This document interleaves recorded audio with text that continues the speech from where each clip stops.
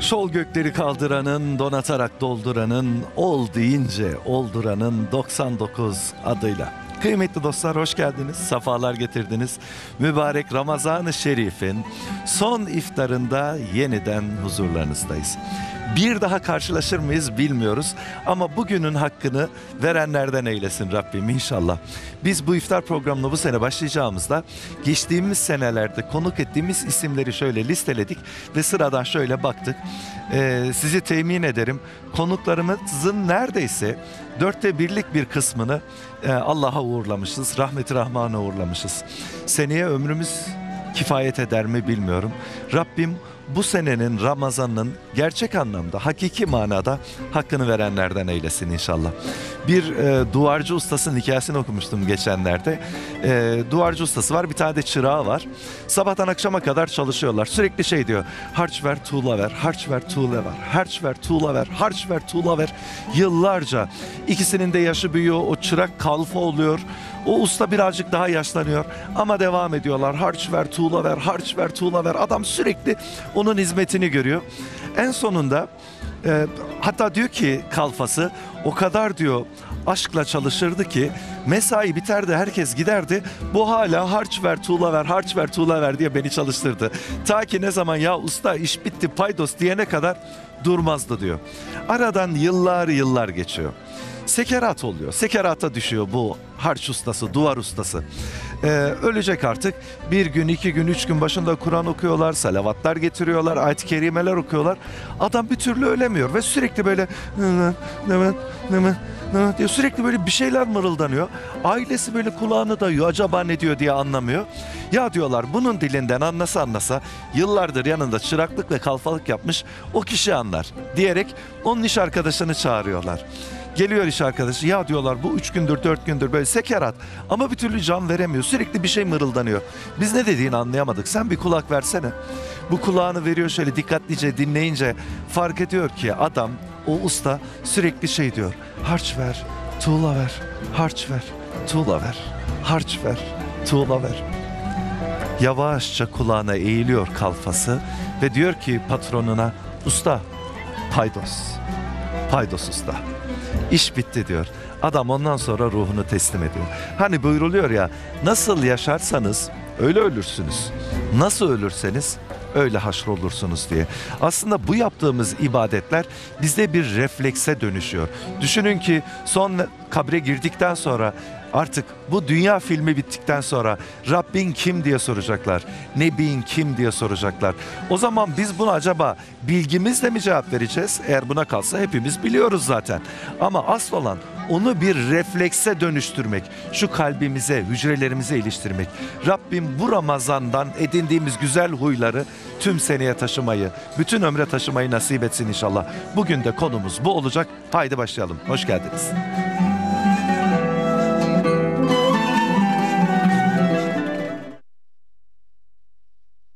أعوذ بالله من الشيطان الرجيم.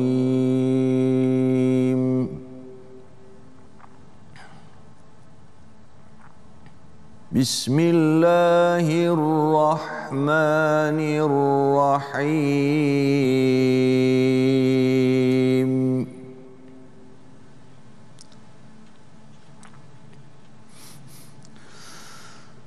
يا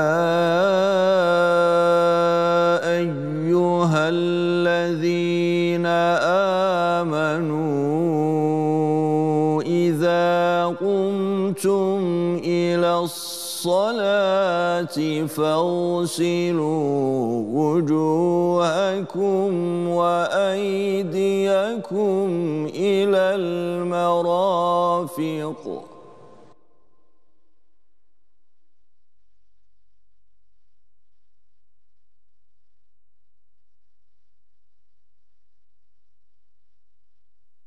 فاغسلوا وجوهكم وأيديكم إلى المرافق وامسحوا برؤوسكم رؤوسكم وأرجلكم إلى الكعبين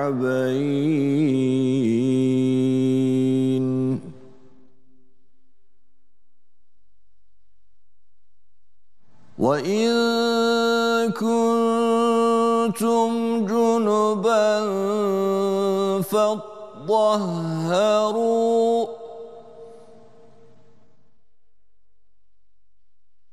وإن كنتم مرضى أو على سفر أو جاء أحد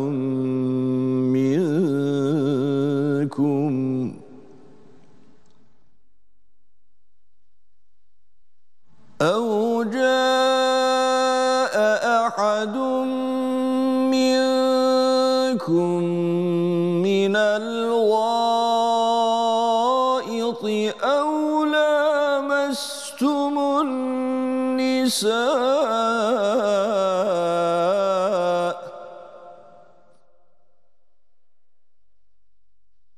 أو لامستم النساء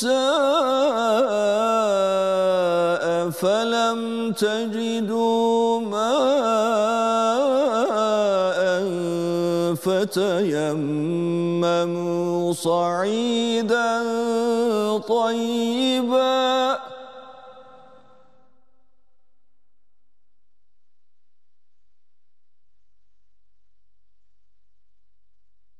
فتيمموا صعيدا طيبا فامسحوا بوجوهكم وأيديكم منه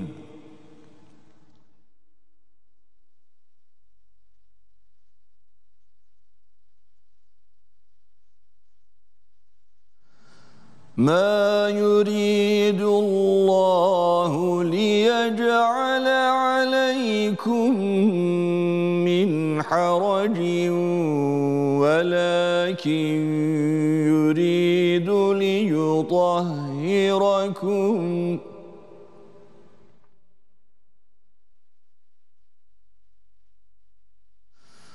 ولكن يريد ليطهركم وليتم نعمته عليكم لعلكم تشكرون.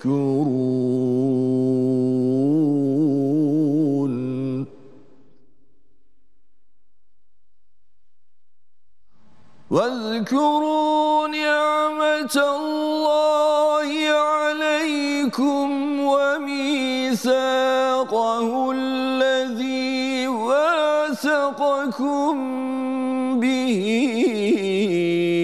إذ قلتم سمعنا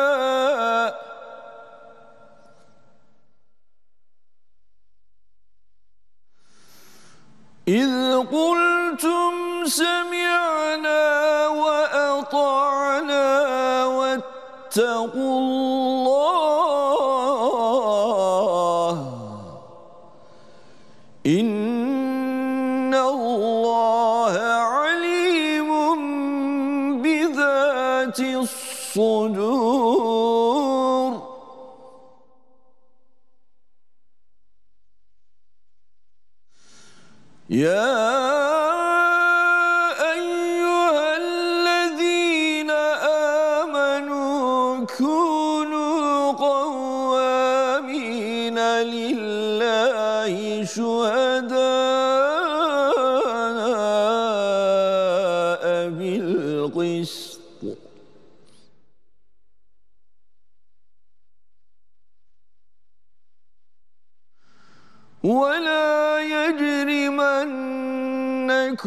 شنآن قوم على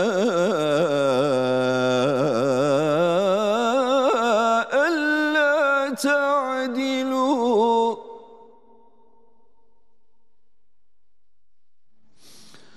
اعدلوا هو أقرب التقوى واتقوا الله.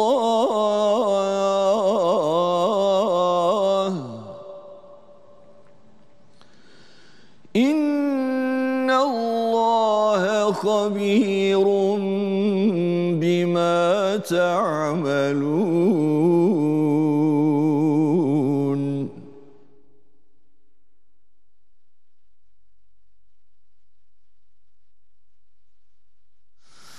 وعد الله الذين آمنوا وعملوا الصالحات لهم مغفرة وأجر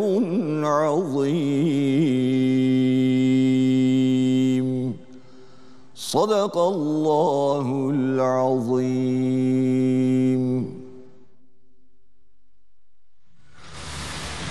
Büyük Çamlıca Camii İmam Hatibi Kerim Öztürk hocamıza teşekkür ediyoruz. Yeniden hoş geldiniz. 1445 Hicri yılının son Ramazan e, gününde, son iftar arefesinde yeniden beraberiz.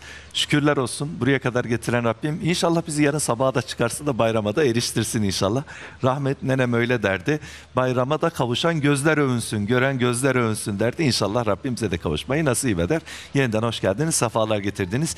İki çok kıymetli konuğum var. Kalyoncu Üniversitesi, Hasan Kalyoncu Üniversitesi öğretim üyesi doçent doktor Mehmet Dinç hocam. Hoş geldiniz hocam. bulduk efendim.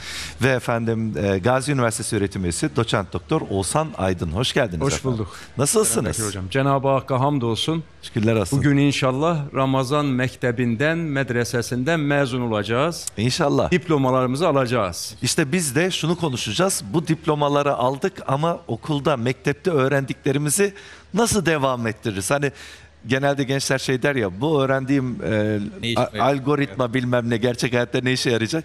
Bugün bunu konuşacağız. Bu mübarek Ramazan bizi geldi böyle rahmetiyle, bereketiyle şöyle bir arkadan itekledi. Şimdi bu ivmeyi e, kalan e, yıla hatta kalan ömrümüze nasıl devam ettireceğiz, koruyacağız bunu konuşmaya çalışacağız. Öncelikle nasıldı 1445 Ramazan'ını bir sizden dinleyelim sonra da hocama soracağım. Nasıldı bu Ramazan? Mesela geçtiğimiz Ramazanlara kıyasladığınızda ben genelde böyle hesap etmeye çalışıyorum bilmiyorum doğru mu? Bu Ramazan neyi başka yaptım ve daha acaba daha Allah'ın ra- razı olacağı işlere e, şey yapabildim mi? Evet. E, odaklanabildim mi diye soruyorum. Sizin için nasıldı 1445 Ramazan? Bu Ramazan tabi ister istemez çok üzünlüydü. Yani yüreğimizin parçalandığı bir Ramazan geçirdik. Ramazan'ı geçirirken Ramazan'ın bir neşvesi var. Ramazan'ın bir huzuru var. Hiç şüphesiz o huzuru taşımaya, o neşveyi yaşamaya çalıştık. Ama kalbimiz bir taraftan da Gazze'li kardeşlerimizle ilgili mutlaka attı. Zihnimiz hep o taraftaydı. Dolayısıyla Ramazan'ı yaşarken ister istemez e, gündemimizde Gazze'li kardeşlerimiz yer aldı. Dualarımızda kendimize dua etmeye utandık. Gazze'li kardeşlerimize mümkün olduğu kadar yer vermeye çalıştık. E, ama bugün bayram vaktidir artık. Bayram demine girdik. O yüzden anın hakkını vermek anlamında bayram sevincini, bayram neşesini yaşayacağız. Bu Ramazan fakat farklı olarak yaptığımız, yaşadığımız en önemli şey, en büyük gündemimiz Gazze'li kardeşlerimizdi. Evet. Siz Elhamdülillah ama bu Gazze ve Kudüs-ü Şerif meselesinde milletimizin bir ve beraber olduğunu gördük. Bütün ümmeti Muhammed'in kalbi Kudüs-ü Şerif için, Gazze için, Filistin için atıyor. Çünkü bu bizim Maraşlı Abdal Halil Ağa'nın ifadesiyle bizim din behsimizdir. Maraş'ın işgalinde Ermeni milletvekili Agop Efendi Abdal Halil Ağa'ya gelir. Abdül Halil, Abdal Halil Ağa davulcudur. Geçimini davulculukla ifa eder. Der ki Halil Ağa Fransızları karşılayacağız. Gel davul çal. Sana üç kese altın vereyim. Der ki Agop Efendi değil üç kese altın davulumun kasnağını altınla doldursan ben gelip Fransızları karşılamam. Bu bizim Maraş'ın ağzıyla din behsimizdir. evet. Rabbimize hamdolsun. İnşallah Gazze'li kardeşlerimiz, kahraman kardeşlerimiz diyor ki Gazze bize mezar olmadan düşmana gülzar olmaz. Müslümanların aslında farz-ı kifayesi olan Mescid-i Aksa-i Şerifi, Kudüs-ü Şerifi diğer adıyla Beytil Makdis'i muhafaza ediyorlar. O günler çok yakın. İnşallah. Gönlümüz ferah. Diyor ya Alvarlı Efe işte can bula cananını, bayram o bayram ola, kul bula sultanını, bayram o bayram ola. hüznü keder def ola, dilde hicap ref ola, cümle günah affola, bayram o bayram ola, hüznü kederimiz gidecek. Bir bayram namazında, bir teravih namazında, bir cuma namazında Özgür Aksa'da divana duracağız Allah'ın izniyle. İnşallah. Merhum Mehmet İnşallah. Akif İnan abi İnşallah. diyordu ya Mescid-i Aksa'yı gördüm düşümde götür Müslümana selam diyordu dayanamıyorum bu ayrılığa kucaklasın beni İslam diyordu çok yakın dedelerimiz nasıl kucakladıysa biz de Özgür Aksa'yı kucaklayacağız İnsan, inşallah insan inanmak istiyor tabii yani. İnanıyorum. Allah'ın Hiç izniyle. şüphemiz İnşallah. yok. İmanımız İnşallah. sağ tam İnşallah. İmanımız tam İnşallah. Allah'ın vaadi var İnşallah. Şimdi hocam bu mübarek Ramazan-ı Şerif geliyor. Bir mevsim gibi geliyor aslında. Evet. Hiç unutmam. Ee, Selim Gündüz Alp abi vardı. Allah gani gani rahmet Amin. eylesin. Amin. Bir yayında şunu söylemişti. Her sene de söylerim bunu. Demişti ki senin herhangi bir günü beni uyutsanız Ramazan'ın herhangi bir günü uyandırsanız ve Ramazan olduğuna dair hiçbir şey söylemeseniz ben şöyle bir İstanbul'u bana bir gösterseniz ben size Ramazan'da mıyız değil miyiz Allah'ın izniyle söylerim demişti. Böyle bir mevsim olarak giriyor hayatımıza. Evet. Ee, mesela normal hayat rutininde alkol tüketenlerin Ramazan'da içmediğini görüyoruz. Ben, ben bunu kıymetli buluyorum. En azından bu gay- gayreti, bu üst niyeti. Yani aslında Ramazan diyor ki bak 30 gün boyunca yapmadığın şey demek ki yapmayabiliyorsun. Demek ki bununla baş edebiliyorsun. Ya da farklı kötü alışkanlıklardan. Peki Ramazan'dan sonra yani muvakkat olması mı bizim motivasyonumuz? Yoksa Ramazan'dan sonra bunu devam ettirmenin, Ramazan'ın bize kazandırdığı bu güzel hasletleri diğer seneye yaymanın bir yöntemi, bir yolu var mı hocam? Bizim ıskaladığımız, bilmediğimiz. Mutlaka var. Şimdi zamanla bir ilişki kuruyor insan. İnsan ilişki üzerine odaklı. Hayatı bütün biz ilişki üzerine e, inşa ederiz. Birbirimize ilişki kurarız, kendimizle ilişki kurarız, yaratanla ilişki kurarız, dünya ile ilişki kurarız. Mekanla ve zamanla da ilişki kurarız.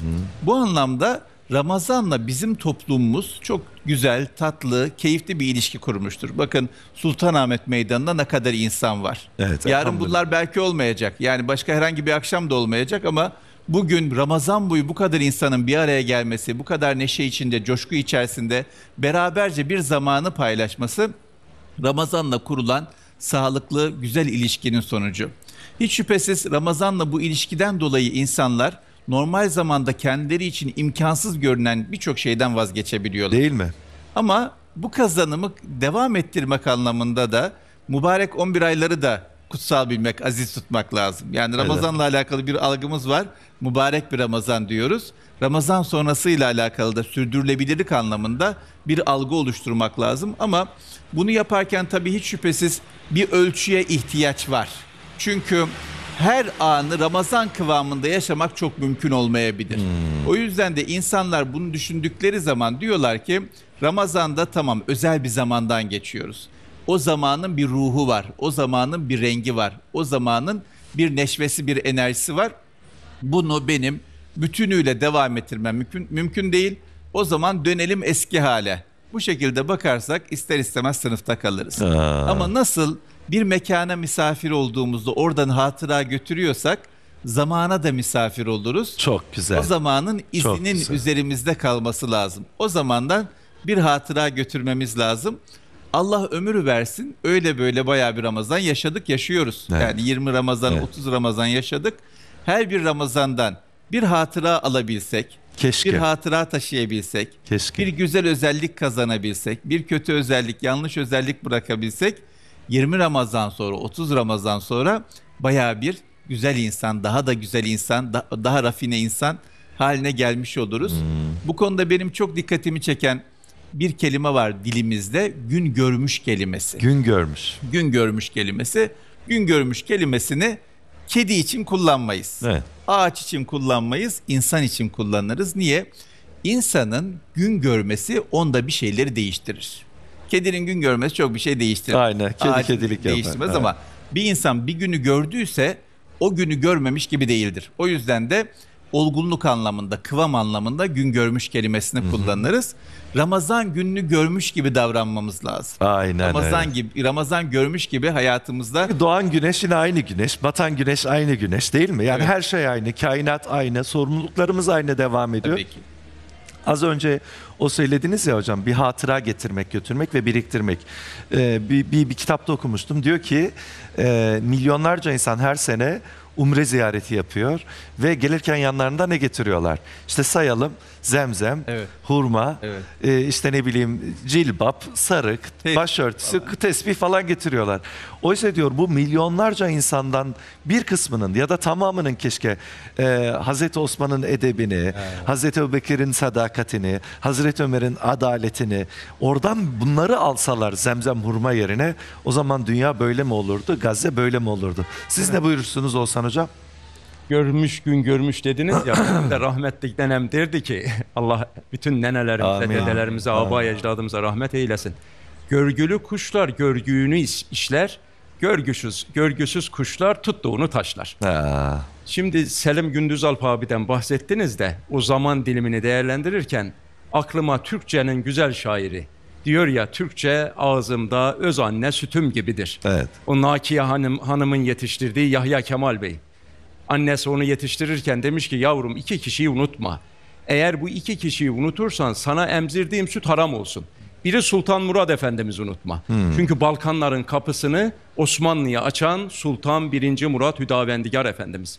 Biri de Muhammed Mustafa Efendimiz'i unutmadır. İşte o Yahya Kemal Bey bir Ramazan gününde akşama yakın Anadolu Anadolu yakasında Atik Valide Camisi'nin bulunduğu civardan geçerken sözlerine şiirler düşer. Der ki, iftardan önce gittim Atik Valide semtine. Kaç defa geçtiğim bu sokaklar bugün yine sessizdiler. Fakat Ramazan maneviyatı tatlı bir intizara çevirmiş sükuneti. Semtin oruçlu halkı, süzülmüş benizliler, bakkalda bekleşen fıkara kızcağızları az çok yakında sezdiriyor top ve iftarı. Top gürleyip oruç bozulan lahzadan beri bir nurlu neşe kapladı kerpiçten evleri. Ya Rab nasıl ferahlı bu alem, nasıl temiz. Burada Yahya Kemal Bey Atik Valide semtinde o Ramazan ayında insanların halini tasvir ediyor. Ama geliyor kendine geliyor. Tenha sokakta kaldım oruçsuz ve neşesiz. Yurdun bu iftarından uzak kalmanın gamı hassiz yaşattı ruhuma bir gurbet akşamı. Bir tek düşünce oldu teselli bu derdime. Az çok ferahladım ve dedim kendi kendime. Onlardan ayrılış bana her an üzüntüdür. Madem ki böyle duygularım kaldı çok şükür. Yahya Kemal Bey o gün oruç tutamamış. Oruç tutamadığından dolayı o oruç tutanlara heves etmiş ve demiş ki iyi ki o duygularım kaldı. Oruç tutamadığımdan dolayı üzüldüm. Cenab-ı Allah'tan af ve mağfiret diledim ve şuna da sevindim. Oruç tutamadığımdan dolayı üzüldüğümün duygusu bende var ya bunun için kalbim ferahladı. Ondan dolayı bu Arefe günü bizim irfanımızda derler ki Arefe günü çocuklarınıza oruç tutturun. Arefe günü dağlar, taşlar oruç tutar. Bu Ramazan'da orucunu tutanlar affoldu. Allah'ın izniyle cehennemden azat oldu, cennete kavuşacak ve cennette de cemal ilahiyi seyredecek. İnşallah. Cenab-ı Hakk'ın bize vaadi Reyyan kapısından gireceğiz. Ama oruç tutmayanlar var ise bu Arefe gecesinde Cenab-ı Hakk'ın tövbeleri kabul ettiği, duaların kabul olduğu bayram gecelerinde, Arefe günlerinde Rabbimize tövbe istiğfar etsinler. Desinler Eyvallah. ki ya Rabbi bana ömür ver de gelecek Ramazan'a ulaşayım. O Ramazan'ı tam tutayım. hakkıyla ifa edeyim. Eyvallah.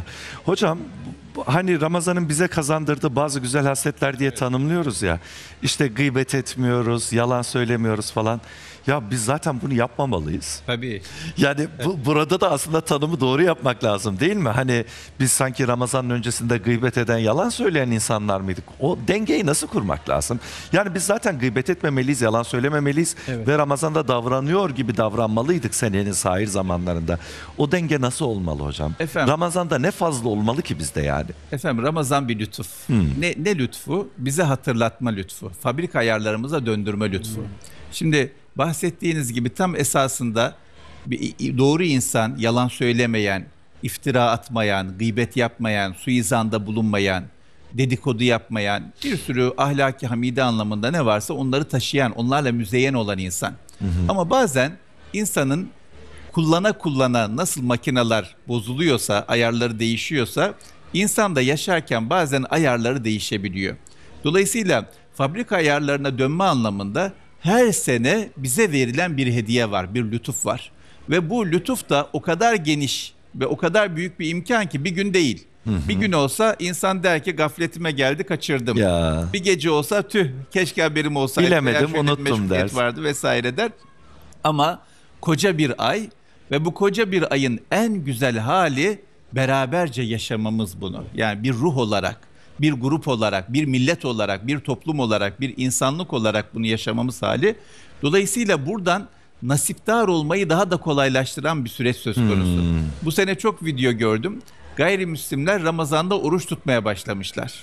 Diyor ki ben diyor Müslüman arkadaşlarımı görüyordum e, ve bu bana çok büyülü bir şey gibi geliyordu. Ben de bu sene denedim ve sonra her iftar günü yine video çekiyorlar. Diyorlar ki bugünkü bu orucum bana ne kazandırdı, ne düşündürdü, ne hissettirdi. Yani bedenimizin yaşadıkları kadar oruç tutarken veya Ramazan'ı yaşarken zihnimiz ne yaşıyor? Onu da bir hülasa etmek lazım. Kalbimiz ne yaşıyor? Onu da bir hülasa etmek lazım. Farkındalık anlamında hangi noktaya geldik? Onu da bir hülasa etmek lazım. Ramazan'ı sadece beden olarak yaşamamak lazım. Çünkü insan sadece beden değil. Bu Ya ruh. ruh yani devasa bir kalbimiz olması lazım. İnsanın e, bedeni esasında büyüklerin buyurduğu gibi ten kafesi. İnsanın potansiyelini esasında kısıtlayan bir şey. Onun çok daha ötesi var insanda. Ama ibadet beden üzerinden gidiyor. Beden yani üzerinden şekilde gidiyor. Esas Ama- ibadede rengini katan, anlamını katan ruhun orada olması. Yoksa bir insan ruhunu vermeden, zihnini vermeden yatsa kalksa, kalbini doğrultmadan, niyetini yapmadan, zihnini bir niyet etrafında şekillenmeden dönse dursa hiçbir işe yaramaz.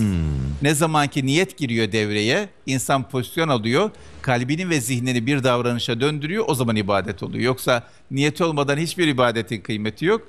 Dolayısıyla bütün ibadetleri yaparken Ramazan'da orucumuzu tutarken de dahil olmak üzere varlığımızı katarak, ruhumuzu katarak, zihnimizi katarak, kalbimizi katarak onu yapmamız lazım ki mümkün olabilecek en büyük nasibi alalım. Mümkün olabilecek en büyük nasip nedir? İnsanın bu dünyaya geldiği gibi temiz olabilmesi, temiz kalabilmesi. aynen. Çünkü insan bu dünyaya temiz olarak geliyor, tertemiz olarak geliyor, fıtrat üzere geliyor. En büyük marifet o temizliği koruyabilmek, o fıtratı muhafaza edebilmek Ramazan bunun için çok büyük bir fırsat. Evet. Mesela Aydin Salih hocam Allah gani gani rahmet eylesin. Amin. O şey ayet-i kerimesini lekat halaknel insani fi ahsani takvim. Yani en güzel surette yarattık buyuruyor ya Cenab-ı Allah. Yani en güzel surette yarattık derken diyor Aydin Salih hocam sadece ruh olarak değil beden olarak da en güzel surette yolladı Cenab-ı Allah yani böbrek, karaciğer, bütün organlarınız en top seviyede yani. Sonra yiyek, yiyip içerek diyor. Biz aslında bunu bozmaya, tahrip etmeye başladık. Aslında mübarek Ramazan-ı Şerif'in ruhumuzu iyileştiren bir tarafı olduğu gibi bedenimizi iyileştiren ve hatta toplumumuzu iyileştiren bir yönü de var. Yani şu kalabalığı sahil zamanlarda burada toplayıp yere hadi şuraya bir çul serin, iki simit bir karper peynirle şunları yiyin deseniz Birbirinizle paylaşın hesapsız. belki bir- şu büyük organizasyon yapmanız lazım. Bu da Ramazan'ın bir bereketi değil mi Oğuzhan Hocam? Aynen öyle Bekir Hocam. Ramazan-ı Şerif bizi bedeni selim sahibi yapıyor. Ramazan-ı Şerif bizi aklı selim sahibi yapıyor. Ramazan-ı Şerif bizi zevki selim sahibi yapıyor. Ramazan-ı Şerif bizi hepsinin üstünde kalbi selim sahibi yapıyor.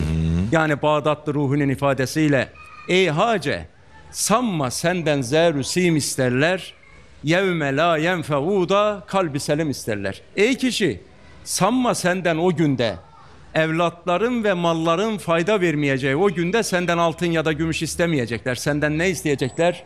Tertemiz bir kalp isteyecekler. Kalpte eğer şirkten, havatırdan, aşırı dünya sevgisi vehenden, masivadan ve kötü ahlaktan varsa izler onu Ramazan'da şu anda silmemiz lazım. Silindi gitti. Onların yerine ne du- doldu? Müslümanların sevgisi doldu. Allah'ın salih insanlarının sevgisi du- doldu ve iki cihan serveri Habibi Edibi Kibriye Efendimizin sevgisi doldu ve bizleri yoktan var eden, varlığından haberdar eden, aşkıyla gönlümüzü bir karar eden Cenab-ı Hakk'ın sevgisiyle kalplerimizi doldurduk. İnşallah. Allah'ın izniyle. İşte içki boşalmasın buradan Oğuzhan hocam. Şimdi biz hani elhamdülillah herkes kabı nispetinde doldurdu aslında. Kiminin kabı şu kadar, kimininki denizler deryalar kadar. İçki o kabı dökmeden nasıl taşıyacağız? Nasıl taşıyacağız? Ya. Bunu Anadolu İrfan Mektebi'nin öncüleri Sufi Alperenler çok güzel özetlemişler aslında. Darende'den yükselen ses Osman Hulusi Efendi Divanı Hulusi Darendevi'de şöyle bize bir nasihatta bulunuyor. Aslında ayet-i kerimeleri ve hadis-i şerifleri de ilgilileri ne yapıyor? Şerh ediyor. Diyor ki alemi sen kendinin kölesi kulu sanma. Sen hak için alemin kölesi ol, kulu ol.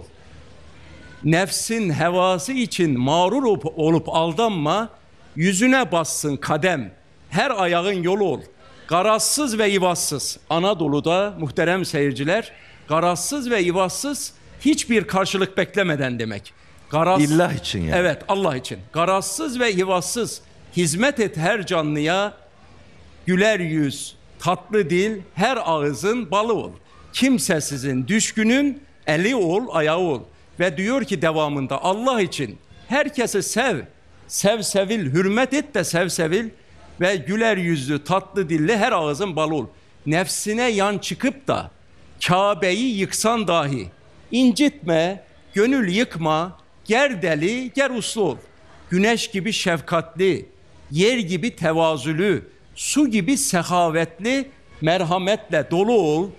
Gökçek gerek dervişe, gökçek naif demek. Evet. Gökçek gerek dervişe sağını, yoksula baya, suçluların suçundan geçip hoşgörülü ol. Varlığından boşal kim yokluğa erişesin.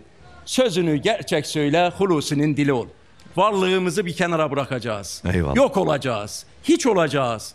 Hiçlik makamına ereceğiz. Neyzen Tevfik de bir kolye taşırmış da kolyesinde hiç yazarmış. Bizler bu Ramazan'da inşallah bayram sabahına ulaşırken hiçlik makamını elde ettik ve kimseyi incitmediğimiz gibi kimseden de incinmeyeceğiz. İnşallah. İşki İnşallah. bunu Ramazan'ın sonrasında da devam, Devam ettirebilelim. Şimdi Cenab-ı Allah ayet-i kerimede şey buyuruyor hocam. Sana ölüm gelinceye kadar Rabbine ibadet et buyuruyor. Demek ki Cenab-ı Allah bizden buradan da bir istikamet istiyor. İmam Rabbani Hazretleri'nin mektubatında şöyle bir ifade geçer. İnşallah yanlış hatırlamıyorumdur.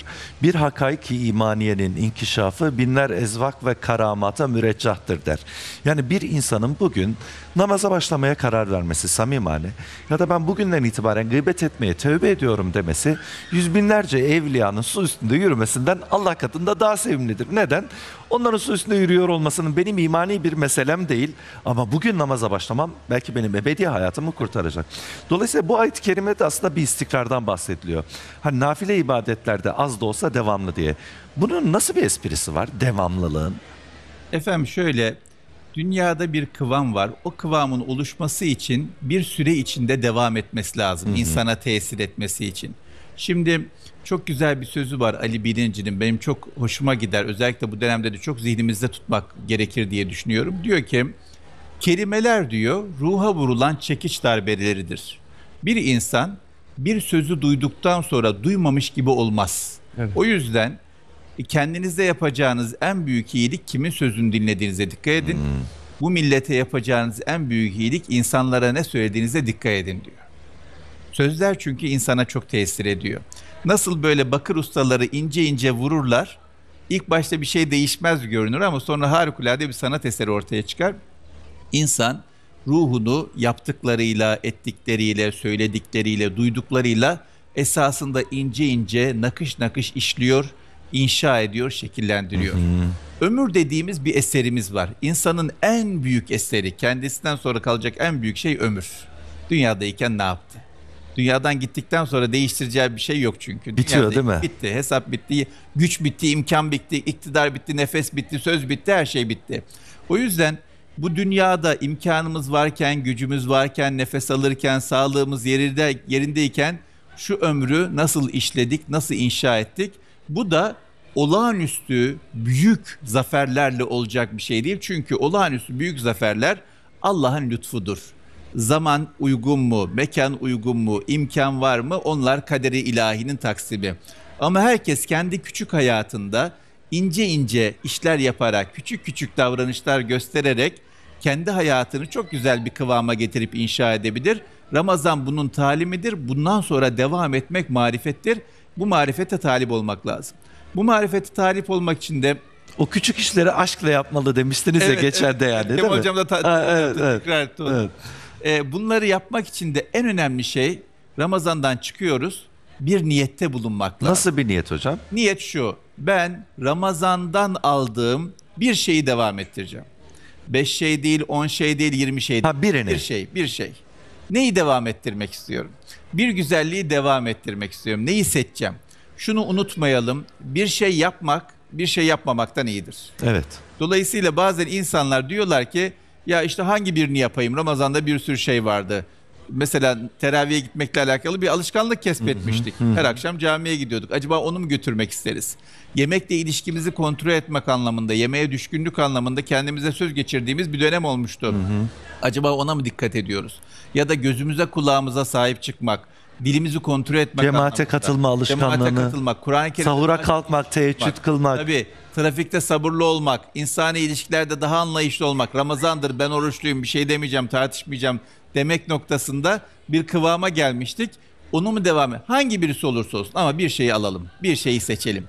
Ve bu aldığımız şeyi çok ciddiye alalım.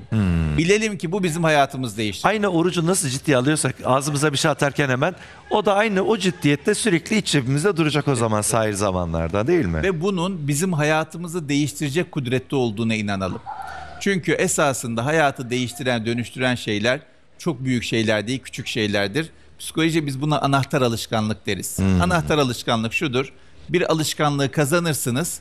O alışkanlık sayesinde 10 tane güzel alışkanlık hayatınıza girer. Ekstradan bir gayret göstermenize gerek yoktur. Yine o alışkanlığı alırsınız. 10 tane kötü alışkanlık, kötü davranış kendi kendine hayatınızdan sıyrılır gider. Dolayısıyla insanın bir tane, 10 tane, 5 tane, 100 tane değil, bir tane güzel alışkanlığı Bir öneriniz var mı hocam? Ben şu an düşünüyorum yani hangisi daha ben size ilk olarak iki tane çok güzel iftarımı anlatayım. Hadi belki buyurun. oradan kendi ke- ben Tamam. kendime bir şey çıkartıyorum. Belki izleyicilerimiz de İnşallah. çıkartır. Bütün Ramazan'da Allah Teala lütfetti, nasip etti. Çok güzel iftarlara konuk oldum. Çok insanlar güzel bir şekilde ağırladılar. Çok izzeti ikramda bulundular ama iki tane iftarım benim için çok özeldi. Bunlardan bir tanesi bir üniversite öğrencisi aradı. Dedi ki abi dedi bize iftara gelir misin? Gelirim dedim. Üsküdar'da kendi de çok şaşırmıştır. kendi de çok şaşırdı. Dolusundur gelemezsin falan. Yok gelirim dedim gelirim hiç problem değil. Gel şey yaptım gittim. Üsküdar'da bir ara sokakta bir üniversite öğrencisine bir üç kişi kalıyorlar. 3-5 tane arkadaşla beraber gittik. Onları da çağırmış. Normalde 3 tane çatal, 3 tane bardak, 3 tane tabak var 3 kişi kaldıkları için. Biz geleceğiz diye tabak almışlar, bardak almışlar. Ay paket paket görüyorum. canım benim ya. Ondan sonra annesinden 2-3 saat telefonda tutarak annesi yemek öğrenmiş. O yemeği bize yaptı. O yemeği yedik. Demek ki geleceğinize hiç ihtimal vermiyormuş hocam ya. ihtimal vermiyormuş demek ki ama gittik. Ondan sonra o iftardaki lezzeti ben bütün Ramazan'da başka iftarda aldım desem doğru olmaz. Elhamdülillah. İnanılmaz huzurlu, lezzetli, e, güzel bir iftardı. Orada şunu gördüm. Yani gönülden yapılan ikram çok kıymetli. O yüzden bir şeyi verirken, bir şeyi çağırırken, bir şeyi düşünürken gönlü hiç ihmal etmemek lazım. Aynen öyle. Yani bu ihlas diyoruz ya esasında Aynen öyle. biz. Samimiyet diyoruz. Allah ya. belki ona şifa da saklıyor. Bir Aynen. hastalığınız Tabii. vardı. Gönülden size hazırlanan iftar sofranızda da şifanız vardı belki. Gidip onu aldırdı Allah size değil mi hocam? Evet. O Evet. yüzden e, samimiyetle ikram etmeyi ben o arkadaşlar iki tane şey öğrendim. Bir tanesi dedim ki bir samimiyeti hep muhafaza etmek lazım. Gönlü hep muhafaza etmek lazım. Özeni hep muhafaza etmek lazım. Yani biz geleceğiz diye o kadar hazırlık yapmaları, e, gayret etmeleri, masraf etmeleri falan tamamen samimiyet. Ne faydası, ne faydam var benim onlara oraya gitmekte? Hiçbir faydam yok ama e, samimi bir şekilde ikramda bulunmak istemişti. O yüzden çağırmıştı. Gittik. Hakikaten de çok huzurlu bir akşam oldu. Onu öğrendim. İkincisi de e, gençlerle irtibatı hiç koparmamak lazım. Bizim toprağımızın gençleri çok güzel. O yüzden benim yaşıma gelen arkadaşlar için söylüyorum. Gençlerle düzenli olarak görüşmek, konuşmak lazım ama konuşurken de Sizin ayarladığınız mekanlarda değil, onların ayarladığı mekanlarda. Ne ne fark var hocam? Çünkü sizin ayarladığınız mekanlarda mekanın sahibi sözün sahibi gibi oluyor. Ha. Orada onların ayarladığı mekanlarda mekanın sahibi sözün de sahibi oluyor. Karşı tarafta yaşı olan da bunu kabul ediyor. Sözü bırakmak konusunda onlar konuşsunlar, anlatsınlar, gündemlerini paylaşsınlar, ikramda bulunsunlar. Veren onlar olsun. Yani hep böyle yaşı fazla olanlar vermesin. Veren onlar olmuş olsun. Dolayısıyla daha sağlıklı bir paylaşım zeminini yakalamış olalım. Buna ihtiyacımız var. Ee, çok mütevazi olabilir ikramlar. Mekanlar çok e, belki iptidai olabilir. Hiç problem değil.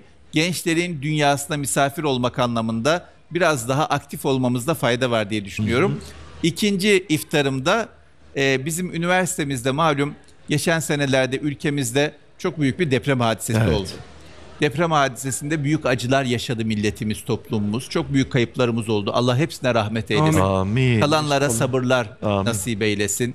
Ee, ayakta durabilme gücü, dirayet gücü, metanet gücü lütfetsin. Bir an önce de hayatlarını yoluna koymayı nasip etsin. Amin. O dönemde bizim üniversitemiz Antep'te öğrencilerimiz çok büyük bir samimiyetle canhıraş bir şekilde Islahiye'de bir çadır kent vardı. Orada e, çocuklarla oynadılar. Onları teselli etmek için, psikososyal destek vermek için gecelerini gündüzlerine kattılar.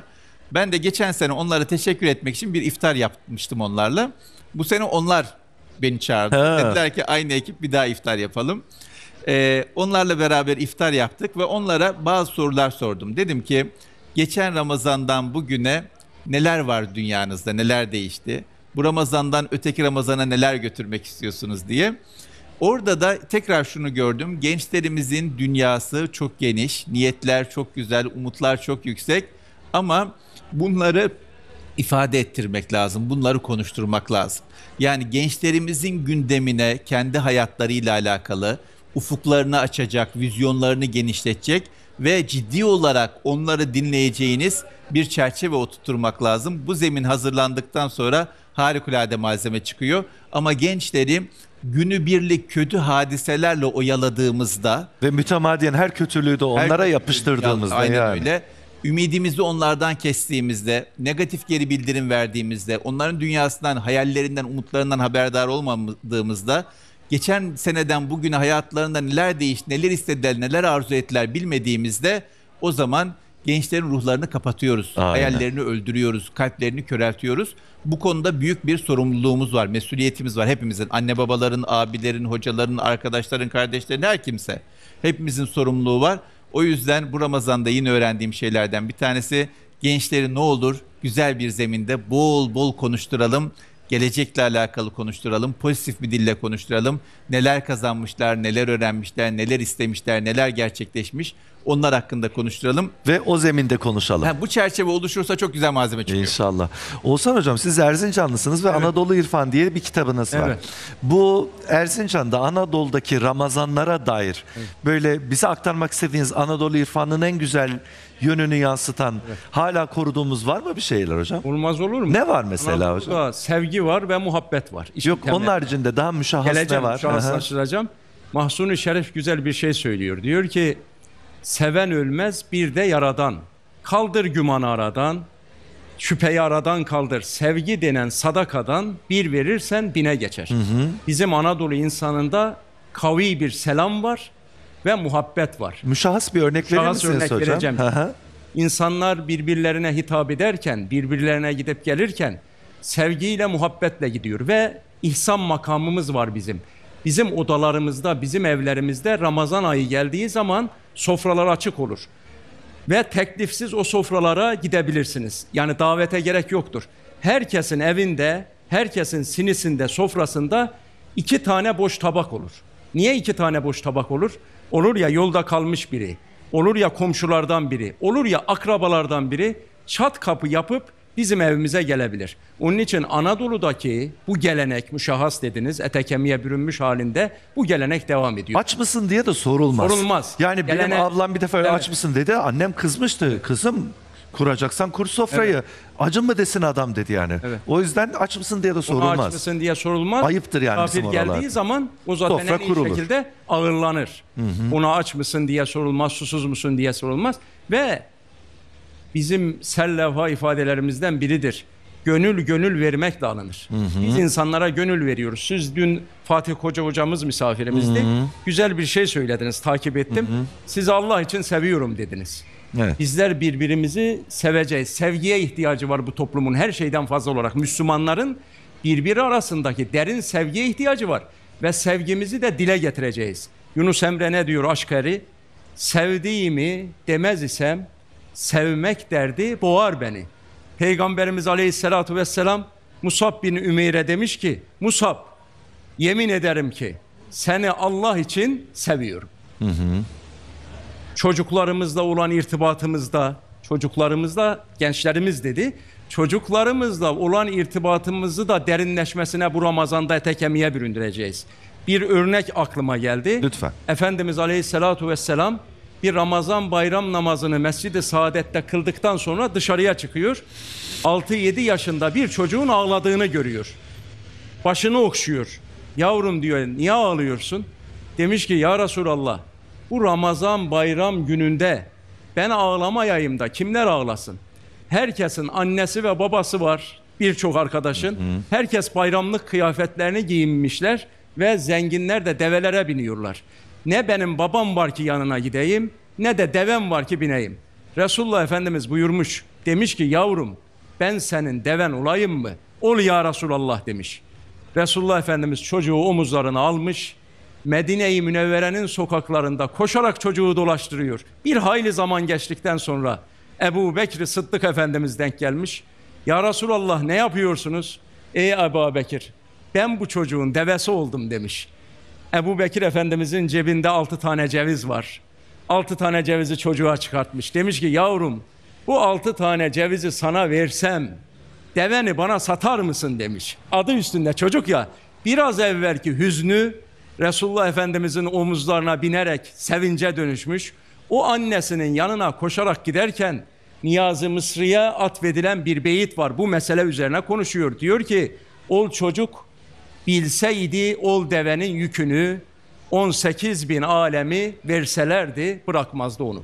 Biz Ya. bu Ramazan-ı Şerif'te gençlerimizle irtibat kurduğumuz gibi çocuklarımızla da irtibat kuracağız. Böyle Bunlara- yolda yürürken diyor savaş olurdu. Savaş öncesi toplantılar gazveye gidilecek falan. Çocuğun biri gelirdi bir gelsene derdi diyor. Efendimiz Aleyhisselatü halbuki ciddi bir şey giderdi peşinden diyor.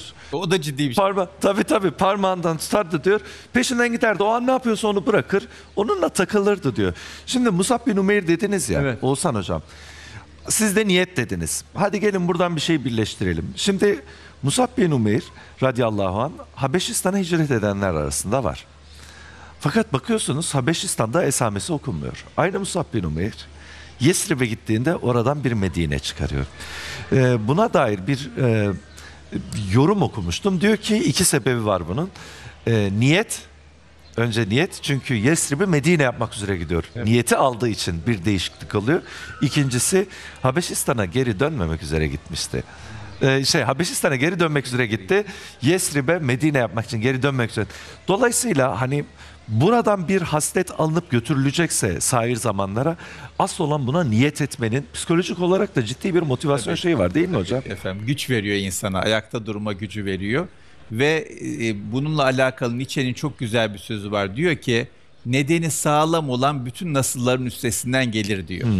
Sağlam bir nedeniniz varsa, niyetiniz varsa bir meseleyle alakalı nasıl olacak, nasıl yapacağım, nasıl bulacağım hiç problem değil. Bütün nasılların üstesinden gelirsiniz. Yeter ki nedeniniz sağlam olsun, niçininiz sağlam olsun.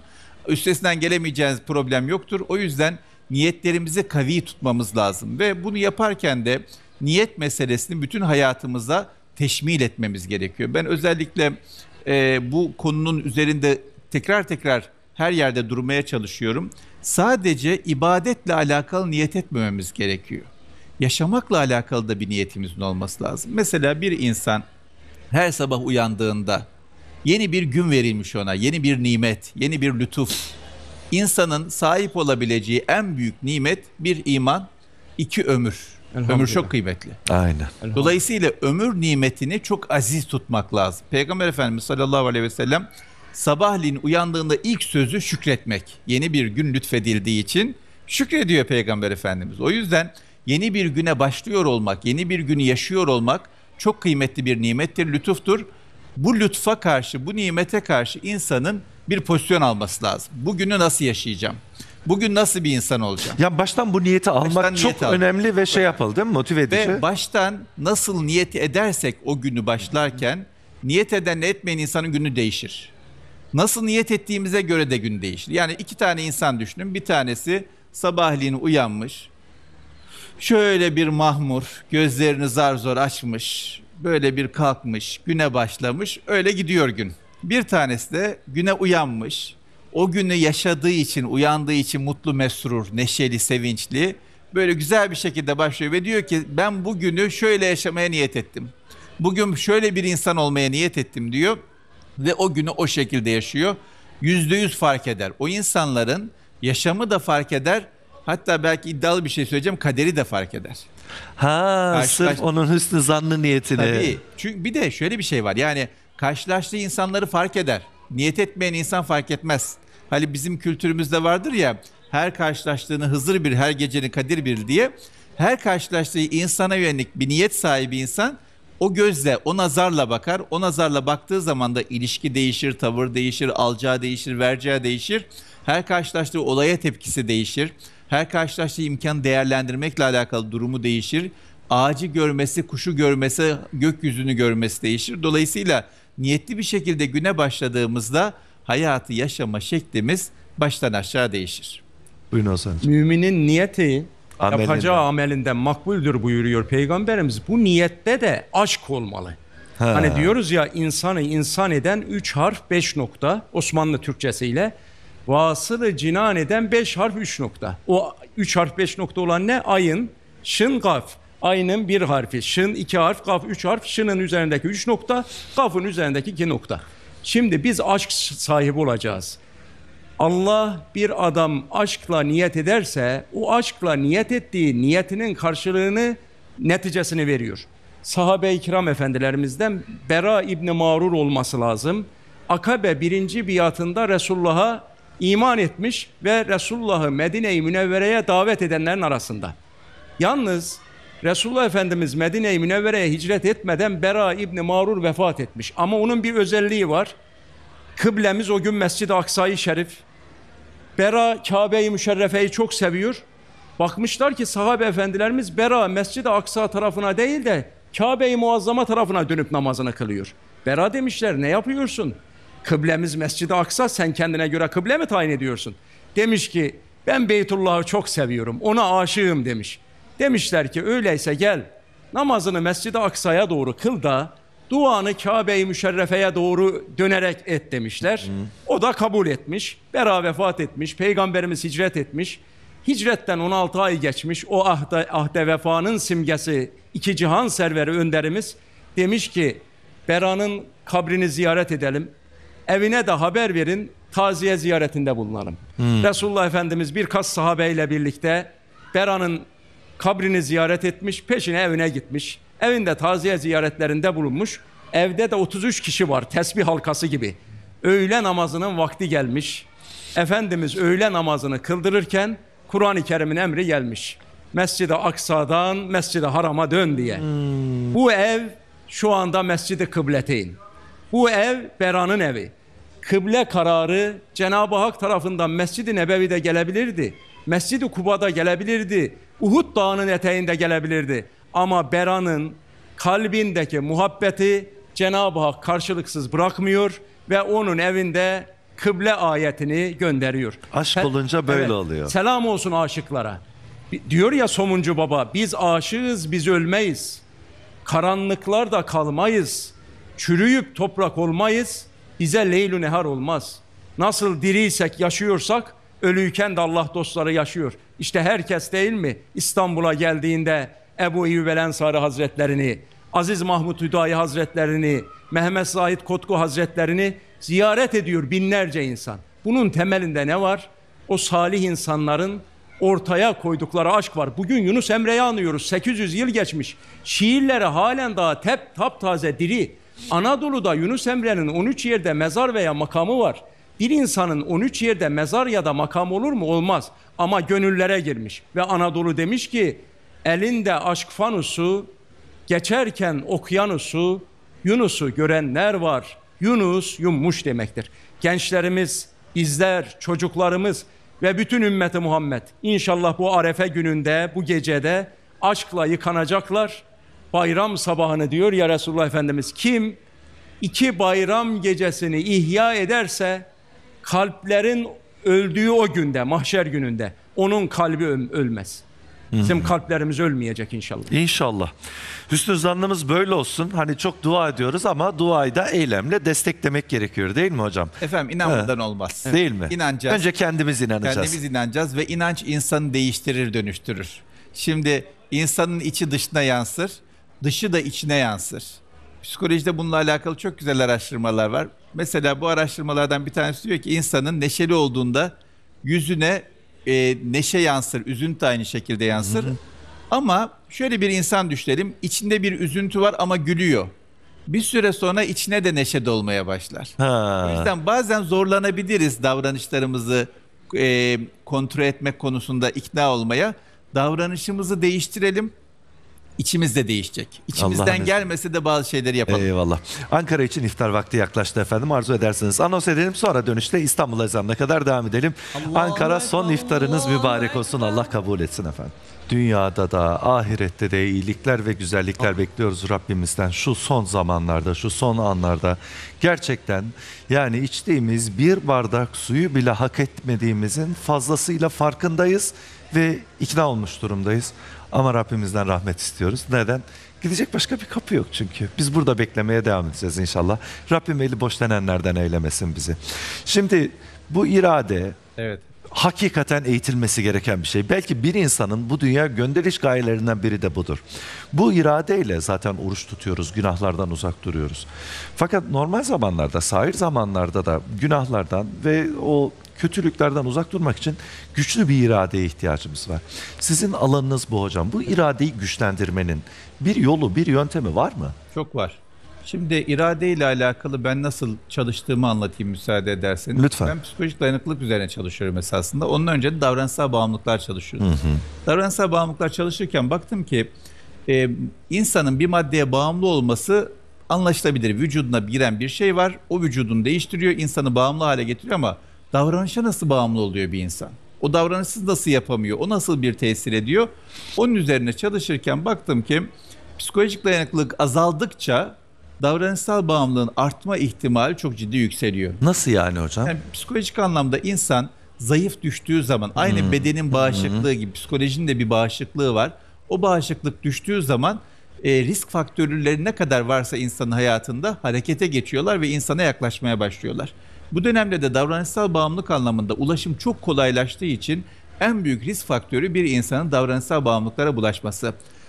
Çok inanılmaz kolaylaşmış durumda ve modern dünyanın kurgusu psikolojik dayanıklılığı çok ciddi azaltmaya dönük. Yani çok fazla insan var etrafımızda ama ciddi anlamda yalnızlık çekiyoruz. İlişkiden yana, e, kendimizi konumlandırmaktan yana, zihnimizi toparlamaktan, kalbimizi netleştirmekten yani ciddi anlamda zorluklar çekiyoruz ve yatma kalkma saatleri olsun, gıda, beslenme olsun, hareket olsun vesaire her şeyiyle psikolojik anlamda dayanıklılığımızı azaltan çok faktör var. Ve bunun üzerine psikolojik dayanıklılık araştırmalarına başladım. Psikolojik dayanıklılıkla alakalı nasıl bir çerçeve çizersek insanlar güçlenirler ve davranışsal bağımlılıklar başta olmak üzere bir sürü bağımlılıktan ve diğer psikolojik zorluklardan kurtulmuş olurlar. Psikolojik dayanıklılık araştırmalarının döndürüp döndürüp getirdiği yer beni irade meselesi oldu. Bir insanın iradesi ne kadar güçlüyse, ne kadar kuvvetliyse, ne kadar terbiye edilmişse e, psikolojik dayanıklılık anlamında o kadar güçlü olabiliyor. İrade ne kadar zayıfsa, üzerinde durulmamışsa, bakılmamışsa, beslenmemişse psikolojik anlamda o kadar zayıf düşüyor ve türlü problemler yaşıyor.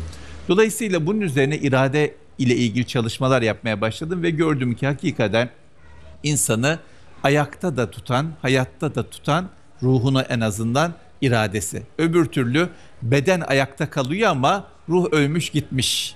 Öyle bir söz var ya diyor ki Abraham Lincoln çok insan 25 yaşında ölür 75 yaşında gömülür diyor. Ay Niye? çok güzel. Beden makine gibi yaşıyor. O yüzden e, ruhu da yaşatmak anlamında en temel dayanak noktası irade meselesi. İrade ile alakalı yaptığım çalışmalarla ilgili çok şey söyleyebilirim ama uzatma özetle derseniz bir cümle söyleyebilirim. Bu cümleyi de ben doğrusu çok önemsiyorum. Diyor ki irade diyor bir insanın en çok istediği için şu an istediğinden vazgeçebilme gücüdür diyor. En çok istediği için şu an istediğinden. İstediğinden vazgeçebilme. Allah için şimdi oruç tutmak gibi mi Mesela, anlam anlaşılmalı bu? Allah'ın rızası şöyle mesela. Ha. Şu an bizim oruç tutmaktaki muradımız ne? Allah'ın rızasını kazanmak. En çok istediğim şey Allah'ın rızasını kazanmak. Şu an benim canım su içmek istiyor. Börek yemek istiyor, pilav ne bir sürü şey istiyor. Ben onlara hayır diyebiliyorum, vazgeçebiliyorum. Dolayısıyla insanın iradesini güçlendirmek anlamında türlü türlü yolları takip etmesi söz konusu olabilir. Ama olmazsa olmaz birinci şey şu, bu dünyada bir muradı olacak, bir arzusu olacak, Ama bir şimdi şeyi çok isteyecek. Burada burada sanki şurada ayrışıyoruz gibi sanki hocam. Mesela şimdi gençlere sorduğumuzda çocuklar diyor ki takılıyoruz diyor yani. Hani bir ilahi kuvvete, kudrete, Cenab-ı Allah'la böyle bir ünsiyet kurmamış biri nasıl bugünkü şeyden vazgeçecek ki onun hatırına? Efendim şöyle, bu dünyada herkesin bir muradı var. Ha. bir şey istiyor. Bazısı Allah'ın rızasını istiyor, bazı para istiyor, bazı Ha, makam istiyor, tamam, bazısı tamam. mevki istiyor. Yapan onun için yapıyor zaten. Bakıyorsunuz bir Ha, illa böyle ilahi bir ilahi bir şey olmasına Ha, gerek ha, yok. anladım. Bakıyorsunuz e, ben bir şey okumuştum, araştırma okumuştum. Dünyadaki en büyük CEO'lar, en büyük dünyadaki bildiğimiz ne kadar büyük firma varsa, marka varsa onların CEO'ları kaçta kalkıyorlar? En geç kalkan 6'da kalkıyor. En erken kalkan 4.30'da kalkıyor. Tamamı 4.30 ile 6 arasında sabah erkenden ayakta güne başlıyorlar. Onları yataktan o saatte kaldırıp güne büyük bir enerjiyle başlatan şey ne? Bir şeyi çok istemişler. İnsanın bir şeyi çok istemesi lazım. Bu dönemdeki en büyük problemlerimizden bir tanesi çok şey istiyoruz ama az istiyoruz. Olsa da olur, olmasa da olur. Ha çok şey istiyoruz ama tutkuyla bağlı değiliz. Tutkuyla bağlı. Ha hepsi vazgeçilebilir. Her, her an vazgeç, her an satabiliriz tabiri caizse. Ha. Her an satabiliriz, vazgeçebiliriz aşkımızdan, sevdamızdan. Halbuki irade için vazgeçilmez sevdalara, satılmayacak inançlara, büyük bir sevdaya sahip olmamız gerekiyor. Bu hocam siz bir şey söylemek ister misiniz iradeyle Evet. alakalı? Serdarımız, manevi fatihimiz Ebu Eyyub el Ensari Hazretlerindeki iradeye bakın ki 80 küsür yaşında Ya Medine-i Münevvere'den kalkıp İstanbul'a geliyor. Bizim gibi uçaklarla, hızlı trenlerle gelmiyor. Ya. Gah yürüyerek geliyor, da, gah atıyla, gah devesiyle gelip İstanbul'a ulaşıyor. Çünkü Efendimizin fethin müjdesi var. İstanbul'u fetheden asker ne güzel asker, orayı fetheden kumandan ne güzel kumandan ve burada vefat ediyor. Peygamberimizin amcasının oğlu, diğer adıyla Şah-ı Zinde Kusem bin Abbas ta Semerkand'a gidiyor. Peygamberimizin mübarek nübüvvet mühründen öpen Hazreti Ükkaşe Türkistan'a gidiyor. Dünyanın her bir tarafına Berlin'den Delhi'ye kadar, Çin'den Adriyatik Seddi'ne kadar erkeğiyle kadınıyla sahabeler gidiyor. Peygamberimizin süt halası olan Ümmü Haram Kıbrıs'ta. 90 yaşında Kıbrıs'a geliyor. Orada vefat ediyor, şehit oluyor. Kıbrıs'ın manevi mihmandarı Mimar Sinan işte bugün tam e, kalfalık eseri Süleymaniye Camisi'nin önündeyiz. Ustalık eseri Selimiye Camisi'ni Mimar Sinan 80 küsür yaşında inşa ediyor. Sultanahmet hocam. Evet. Kudüs-ü Şerif'in etrafını muhasara Kanuni Sultan Süleyman bir rüya görüyor da peygamberimiz di- buyuruyor ki rüyasında Süleyman Rodos'u fethettin. Çok memnun oldum. Kudüs-ü Şerif'i düşmanlar muhasara edebilir. Onun etrafını surlarla çevir. Peygamberimizi rüyada görmenin sevinciyle kalkan mimarların piri olan Mimar Sinan'a onu söylüyor ve Mimar Sinan Kudüs-ü Şerif'in etrafındaki surları o çevirttiriyor. Alperenler Anadolu'ya Sultan Alparslan daha 1064'ün 5 Ramazanında gelmeden evvel Anadolu'ya Kars'a Serhat şehrimize Ebul Hasan Harakani Hazretleri geliyor. Anadolu'ya Ahmet Yesevi'nin Alperenleri geliyor. Hacı Bektaş oluyorlar, Mevlana oluyorlar, Hacı Bayram oluyorlar ve gönül yıkmadan bir medeniyet kuruyorlar. İradeleri var ama diyor ki Yunus diyor ya gönül çalabın tahtı. Çalap eski Anadolu Türkçesinde malumunuz Cenab-ı Hakk'ın karşılığı. Gönül çalabın tahtı, çalap gönüle baktı. İki cihan bedbahtı kim gönül yıkar ise. Gönül yıkmadan bir medeniyet kuranlar şöyle cevap veriyor. Sarı Saltuk Baba'ya, Balkanların manevi mihmandarına soruyorlar. Ya hocam devamlı at sırtındayız. Fetih peşindeyiz. Biz hiçbir zaman şöyle rahat oturmayacak, oturmayacak mıyız? Divanlara sırtımızı yaslamayacak mıyız diye sorunca bizim bu mücadelemiz ne zamana kadar devam edecek? Tarihi bir cevap veriyor. Bu hepimizin kulağına küpe olsun. Müslümanların mücadelesi, müminlerin mücadelesi sura üflenene kadardır. O zaman bu bizim şeyimiz mi olacak Mehmet Hocam? Bu bu ön kabulle hareket edeceğiz değil mi? Yani galibiyet beklemeden, nusret beklemeden, dünyevi bir netice beklemeden tamamıyla adanmış, adanmışlıkla rıza ilahiye talip olmak. Zafer öyle mi? talip değiliz. Değiliz değil Gayreti mi? He, talibiz. Aynen öyle. Gülistan'da çok güzel bir şey okudum geçenlerde. Evet. Perde ile sancak dertleşiyorlarmış. Sancak diyormuş ki sen ne kadar şanslısın, sen ne kadar güzelsin. Hep en güzel cariyeler senin yanında, en güzel kokular senin yanında. En temiz sensin, en güzel yerlerde, saraylarda sen oluyorsun. Bense hep toz toprak içindeyim, hep ter içindeyim, hep savaşlarda kan içindeyim. Ve ne kadar kirliyim şu halime bak diyor. Perde diyor ki öyle diyorsun ama bak ben yerleri süpürüyorum. Seni ayakta tutmak için insanlar can veriyor diyor. Ay. Şimdi irade ile alakalı belki yine bilmemiz gereken en önemli şeylerden bir tanesi çok büyük aşklarımız olacak. Kolayına satmayacağımız büyük aşklarımız olacak. Hocamın dediği gibi o aşkla büyük işler yapacağız. Nasip olacak. Büyük işler yapmak istediğimiz için değil, büyük işler nasip olduğu için olacak. Çünkü büyük aşklar büyük eserleri ister istemez vücuda getiriyor. İkincisi de yorulmaktan, yıpranmaktan korkmayacağız. Aynen Sancak gibi öyle. olacağız. Aynen. Tere talip olacağız, kana talip olacağız. Kan dökmekten, ter dökmekten çekinmeyecek, geri durmayacak. Perdenin hayatına göz dikmeyeceğiz. Ya. Perde çok cazip bir hayat yaşıyor olabilir ama yerleri süpürüyor. Sancak kirpas içinde ama insanlar canlarını veriyorlar onu ayakta tutmak için. İradeyi bu şekilde konumlandırırsak, yorulmaktan kork- korkmazsak, ter dökmekten, yıpranmaktan korkmazsak o zaman çok büyük zaferler bizleri bekliyor. İnşallah. Teşekkür ederim Mehmet Hocam. Oğuzhan Hocam teşekkür ederim katıldığınız için. Ezana az kaldı. Teşekkür ederim. Bugün e, mübarek Ramazan-ı Şerif'in son gününde, son iftarında huzurlarınızdayız. 30 gündür böyle izliyorsunuz bizi. Hüsnü zanla beğenilerinizi yazıyorsunuz, yorumlarınızı ulaştırıyorsunuz bir şekilde. Buraya geliyorsunuz, el sallıyorsunuz, bize eşlik ediyorsunuz. Her şey için çok çok teşekkür ederiz. Türkiye Radyo Televizyon Kurumu'na, yöneticilere, buradaki ekip arkadaşlarıma, kendi adıma teşekkür ediyorum. Burada dostlarımızı, yemeklerimizi hazırlayan, bize bu programı daha sağlıklı, daha güzel bir şekilde sunmak için emek eden, gayret eden kardeşlerimize, iş arkadaşlarımıza hepsine istisnasız teşekkür ediyorum. Ayrıca sizlere teşekkür ediyorum. Sizlerin nezdinde bütün konuklarımıza, ailelerinden, iftarlarından feragat edip geldiler burada. Bu yolculuğumuza, bu sevincimizi bizimle paylaşma adına bize yolculuğumuzda eşlik ettiler. Bütün konuklarımıza çok çok teşekkür ediyoruz. Allah ebeden razı olsun. Ömür vefa ederse inşallah seneyi yine bir yerlerde bir şekilde Rabbim bizi karşılaştırır. Gördüğünüz bütün güzellikler, bu 30 gün boyunca yaşadığınız bütün tatlı şeyler bu ekranlar vasıtasıyla hepsi Cenab-ı Allah'ın bize e, lütfuydu elhamdülillah. Gördüğünüz bütün kötülükler, nahoşluklar da bizzat benim malımdır efendim. Yarın Allah nasip ederse 08.30'da bir bayram programımız olacak. 6 konuğumuz var. 2 saat boyunca huzurlarınızda olma niyetiyle. İnşallah sizi de o güne davet ediyoruz. Birazdan yeniden vedalaşacağız inşallah. Şimdi İstanbul için, aziz İstanbul için iftar vakti. Allah kabul etsin canım İstanbul.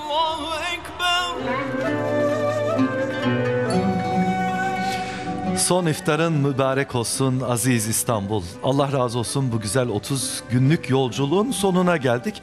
Allah nasip ederse yarın sabah 08.30'da 2 saatlik bir bayram programı olacak. Birbirinden değerli konuklarımızla bayramlaşmak için huzurlarınızda olacağız. Sizler de icabet ederseniz çok seviniriz. Hemen bu programdan sonra inşallah bizden sonra Fetihler Su Mehmet Fetihler Sultanı isimli dizi var. Bu dizi çok güzel ve çokça adından söz ettiriyor son zamanlarda. E, ana haber bülteninden sonra Allah nasip ederse arkadaşlarımız 6 bölümlük bir kolaj hazırlamışlar.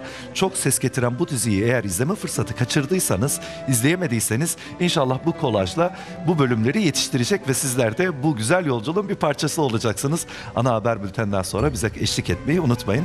Çok teşekkür ederim izlediğiniz için. Ahireniz evvelinizden hayırlı olsun canım kardeşlerim. Allah'a emanet olun.